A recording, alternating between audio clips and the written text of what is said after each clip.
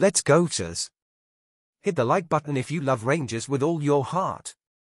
Today, we bring exciting news for Rangers fans.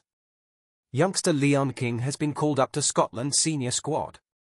The news has been received with enthusiasm by fans and the coaching staff, who recognise the talent and potential of this promising defender. Leon King will head to Spain this Sunday, where he will join the Scottish team for the preparation of the Euro 2024 qualifiers against Norway and Georgia. This is a great opportunity for the young player, who had previously been called up to the U21 squad to face Norway on two occasions. At 19 years old, Leon King has already shown his worth in previous opportunities.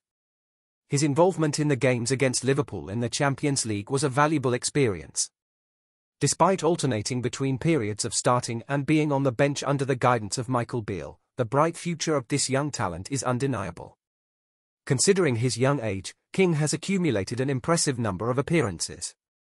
His call up to the senior squad will certainly contribute to his ongoing development. During the 2023-24 season, we hope to see Beale placing even more trust in King.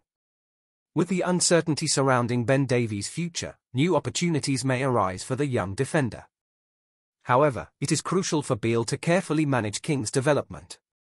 Too often, we see younger players thrown into the deep end without proper preparation. Tell me, Rangers fans, what do you have to say about this news? Leave your opinion here. Don't forget to hit the like button and subscribe to the channel. I'll be back later to update you with the latest news about Rangers. Hail, come on users.